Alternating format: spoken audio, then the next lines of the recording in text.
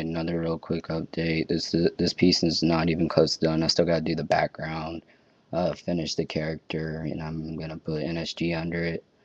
Um, so yeah, I'm need new markers though. Mine are starting to run dry, but yeah, this one's gonna be pretty cool. But I'll update y'all when I'm done.